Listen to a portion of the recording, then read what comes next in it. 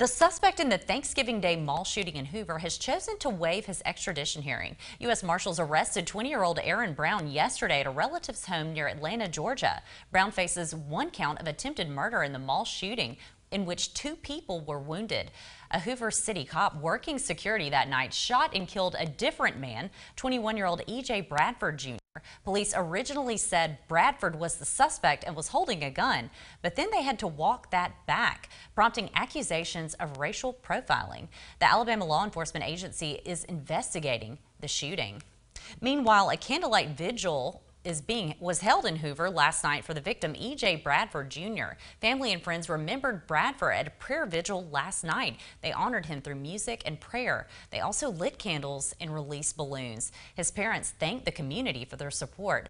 Mothers Against Violence sponsored the event. I'm a mother, and I heard it behind her uh, losing her son. Amen. So anytime somebody loses their child, I always hurt because I know how they feel, first of all, because I'm a mother who lost my son. Brad Bradford's funeral is scheduled for tomorrow morning in Hoover.